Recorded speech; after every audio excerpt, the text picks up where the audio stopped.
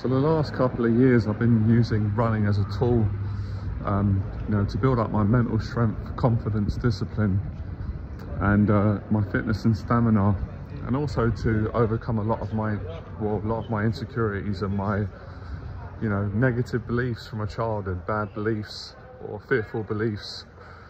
And the reason why uh, I honestly believe and, and chose well, running is a big part of a, of a tool to hopefully achieve that because nothing's certain is because my experience when I was younger boxing in the amateurs um, when I started boxing I was very insecure I had a lot of anxieties fears insecurities and also goals and dreams that I really wanted to achieve besides enjoying fitness I always enjoyed fitness so I didn't know.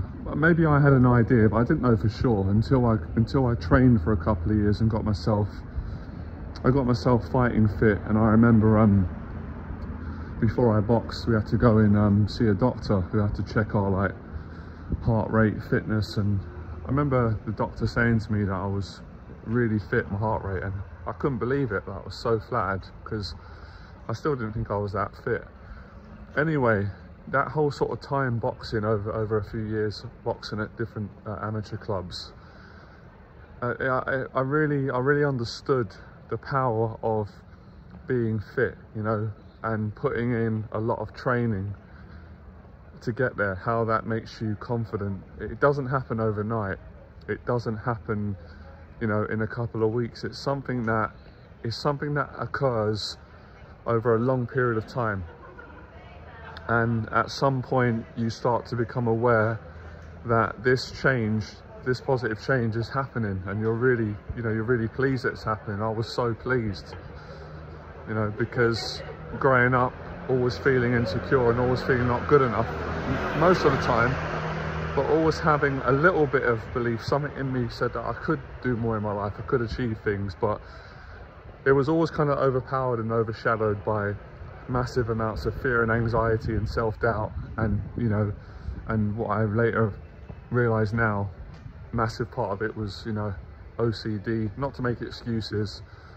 So a lot of mental issues and insecurities and just so much negative thoughts and doubts. So during those experiences of training and getting fitter and fitter and seeing the progress that I was making again which didn't happen overnight and there was so many times where I just walked out of the gym and thought I'm just not good enough. I'm gonna quit. I just can't do this anymore. I'm not getting nowhere.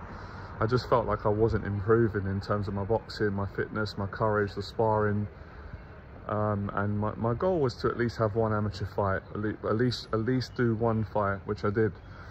So that experience years ago when I was in my 20s um, now obviously in my later years 41 and before I kind of started this running journey a couple of years ago, uh, I had that experience. And as I said, during that time, it, I didn't just do boxing, you know, kind of standard foundation of bag work, sparring, skipping, which I did. I went out and done a lot of runs, night runs, um, also ran with boxing clubs, you know, sprinting up Primrose Hill, did weight training. So, so I had the experience, but obviously later on I got out of shape um, I built a successful business.